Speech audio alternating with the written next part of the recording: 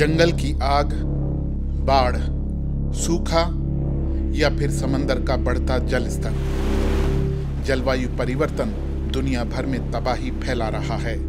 ये समस्या पैदा हुई अमीर और औद्योगिक देशों की वजह से, जिन्होंने जीवाश्म ईंधनों को जलाकर खूब तरक्की की और इसकी कीमत पर्यावरण ने चुकाई।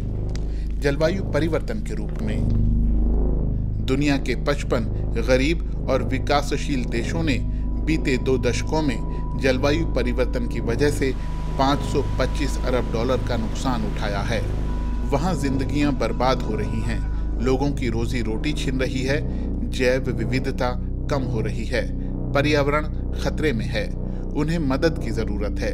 इसीलिए लॉस एंड डैमेज फंड बनाया गया है, जिसे दुबई में चल रहे जलवायु सम्मेलन में मंजूर किया गया।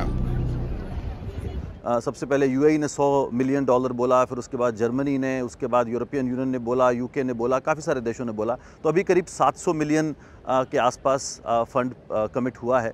लेकिन जो हम ज़रूरत की बात कर रहे हैं वो hundreds of billions of dollars में जाता है। मतलब जो एक स्टडी है वो बोलती है कि 290 से 580 बिलियन डॉलर प्रति वर्ष चाहिए होगा सिर्फ़ विकासशील देशों में 2030 तक। तो हम उस स्केल की बात करें, उसके सामने तो ये पैसा कुछ भी नहीं है। तो काम अभी अधूरा है, लेकिन हम लोगों ने वेलकम इसलिए किया है क्योंकि 30 साल की लड़ाई के बाद हमको ये फंड मिला है तो वो बहुत ही महत्वपूर्ण चीज़ है। Harjeet Singh climate action network international से जुड़े हैं, जो दुनिया के 130 देशों में पर्यावरण के लिए काम कर रहे करीब 1800 गैर सरकारी संगठनों का समूह है। हरजीत सिंह कहते हैं कि फंड मिलने के बाद चुनौती इसे व्यापक स्तर पर ले जाने की है। जो समुदाय, जो देश ऑलरेडी जूझ रहे हैं और उनका बिलियंस ऑफ़ डॉलर्स का नुकसान हो रहा है, उनको पैसा मिलना चाहिए, जबकि हकीकत ये है कि ये फॉसल फ्यूल कंपनीज़ जो हैं, ये पैसा बना रही हैं। अगर मैं आपको एक फिगर दूँ तो 2022 में ग्लोबली इन फॉसल फ्यूल कंपनीज़ ने चार ट्रिलियन डॉलर्स बनाया है का प्रॉफिट जो कि पिछले कुछ सालों में सालाना 1.5 ट्रिलियन होता था। तो आप इमेजिन करिए कि चूँकि तेल और गैस की कीमतें बढ़ी हैं तो वो पैसा बना रहे हैं, लेकिन उन्हीं की वजह से ये सारी तबाही हो रही है फॉसल फ्यूल की वजह से, और लोगों के पास पैसा नहीं पहुँच रहा है। हाल ही में जारी कार्बन बजट रिपोर्ट में कहा गया है कि 2023 में कार्बन डाइऑक्साइड का उत्सर्जन सबसे ऊँचे स्तर पर पहुँच जाएगा।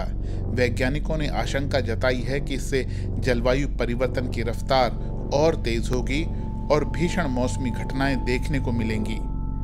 इससे तबाही भी बढ़ेगी।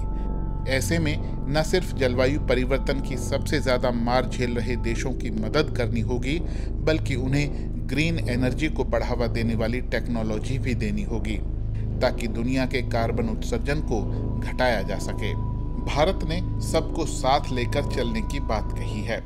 हमें संकल्प लेना होगा कि एनर्जी ट्रांजिशन जस्ट हो इंक्लूसिव हो इक्विटेबल हो we have to be innovative हमें ये संकल्प लेना होगा कि इनोवेटिव टेक्नोलॉजी का लगातार विकास करें, अपने स्वार्थ से ऊपर उठकर दूसरे देशों को टेक्नोलॉजी ट्रांसफ़र करें क्लीन एनर्जी सप्लाई चेन को सशक्त करें। भारत और चीन की ऊर्जा जरूरतें लगातार बढ़ती जा रही हैं। सबसे ज़्यादा कार्बन उत्सर्जन के मामले में आज चीन पहले नंबर पर है और भारत तीसरे पर।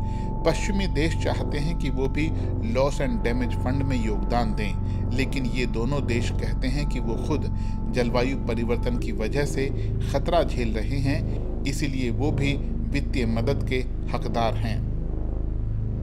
जो भी इस वक्त पोल्यूट कर रहा है, उसको पैसा देना चाहिए और ख़ास तौर से जो बड़े पोल्यूटर्स हैं। लेकिन जब हम अभी हो रहे लॉस एंड डैमेज की बात करते हैं तो हम हिस्टोरिकल एमिशंस की बात कर रहे हैं, जो पिछले डेढ़ सौ, दो सौ सालों में हुआ है औद्योगिकीकरण की वजह से। तो ये जो इंडस्ट्रलाइजेशन है, उसकी वजह से जो एमिशन हुए, जो इस वक्त एटमोसफेयर में है, इसलिए ये तबाहियाँ हो रही हैं। ये जो मिशन अब हो रहा है पिछले 30-40 सालों से, उसका फ़र्क आने वाले टाइम पे पड़ेगा। तो जो पहली ज़िम्मेदारी है, वो अमीर देशों की है। उसके बाद ज़िम्मेदारी आती है बाकी बड़े देशों की, जो अब विकासशील देश हैं और अब उनके पास पैसा है। औद्योगिक देशों ने 2009 में सहमति जताई थी कि जलवायु परिवर्तन के मद्देनजर विकासशील देशों की मदद के लिए 2020 तक हर साल 100 अरब डॉलर की राशि जुटाई जाएगी। लेकिन ये लक्ष्य आज 2023 में भी पूरा नहीं हो पाया है।